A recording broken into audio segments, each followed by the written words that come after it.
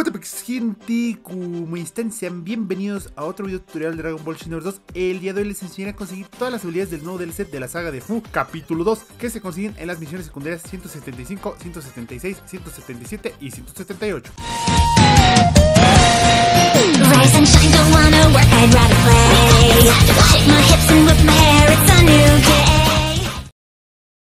Comencemos con las de Vermont en la misión 175. Podemos llevarnos un equipo o no. Lo que sí es que recomiendo no spamear habilidades y realizar muchos combos. Terminar la misión antes de 15 minutos y luego de vencer a Vermont obtendremos elegancia del dios de la destrucción. Para la segunda habilidad les recomiendo llevarse un equipo pero tampoco es necesario. Lo que sí es que debemos hacer que Dispo tenga más de la mitad de su vida. De preferencia que esté por encima de la P de su nombre. Con eso basta para realizar la misión igual de la forma anterior y al concluir nos darán juguete del dios de la destrucción. Ahora nos pasamos a la misión 136 aquí prácticamente te regalan la habilidad definitiva de Vermont. Para obtener la misma solo debemos desbloquear el evento secundario terminando la misión antes de 10 minutos. Luego de eso vencemos a Vermont con un remate definitivo, de preferencia antes de 12 minutos, y con eso ya nos darían poder del dios de la destrucción. Pasamos con la única habilidad de Jiren en la misión 177. Es muy sencillo, podemos llevarnos equipo o no, y para la misma solo debemos desbloquear el evento secundario terminando la misión antes de 10 minutos, y en ese mismo tiempo eliminar a Jiren. Literalmente para obtenerla debemos terminar antes de llegar al minuto 10, y ya con eso obtendremos destrucción de máximo poder. En la misma misión 177 desbloquearemos las habilidades de Goku Daima. Para las mismas no importa tanto el tiempo, pero igual debemos desbloquear el evento secundario. Les recomiendo hacer la misión en solitario ya que por lo que he visto no libera las habilidades en equipo. Sin embargo, la dificultad es mínima e incluso nos pueden dar ambas habilidades al mismo tiempo.